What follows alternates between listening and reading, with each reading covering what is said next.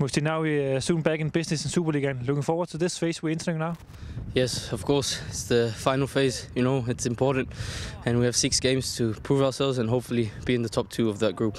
Ja, det gør. Øh, Det er altid dejligt med en lille pause, men så glæder man sig også til at komme i gang igen. Øhm, Vi går en spændende tid i møde, og, og det er selvfølgelig glæder vi os til det. Du og vi prøvede samme gruppespil øh, sidste år, øh, hvor der er masse på spil. Er det en fordel, at vi som har prøvet at stå i det før? Det tror jeg da. Altså, øh, sidste år skulle vi steppe op, og det gjorde vi, og forhåbentlig gør vi det igen øh, nu her. Øhm, så selvfølgelig skal vi tage det med, som, øh, som vi gjorde godt sidste år også. Yeah, not so much advantage, but we know what's going to happen. You know, it's all in games, and hopefully we get this three points starting against Hobro, and we keep going from there. Last year we had a lot of points up. Uh, now we are in better position. Does it mean anything for the way we go into to these matches?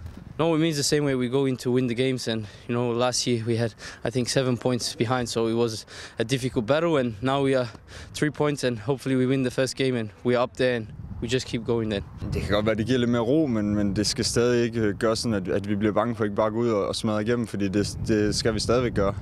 Øh, Så forhåbentlig gør det ikke den store forskel. Vi skal stadig ud og vinde kampen.